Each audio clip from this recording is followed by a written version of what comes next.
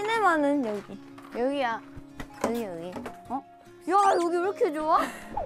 미쳤다.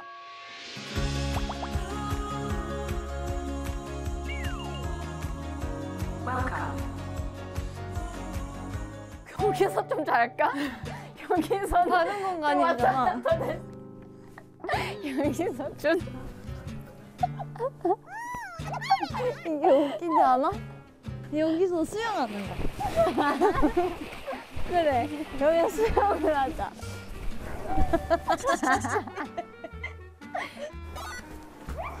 어 너무 좋은데?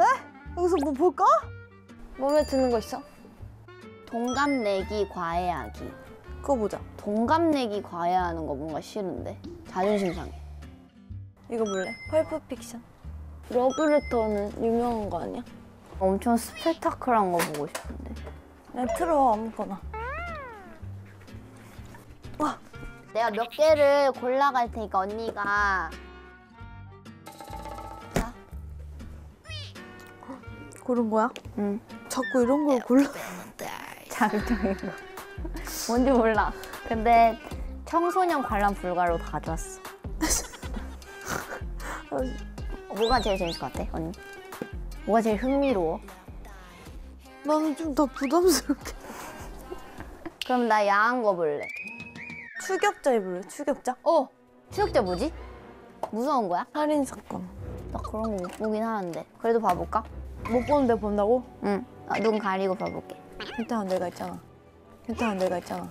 근데 언니랑 있으면 다 할 수 있긴 해. 진짜? 한번 보자. 그래. 무서워. 언니 나 핸드폰 하면서 볼게. 왜냐면 나 좀 무섭거든. 어 나 진짜 근데 많이 무서워 이거. 응? 근데 추격 때 처음 봐. 미쳤다. 언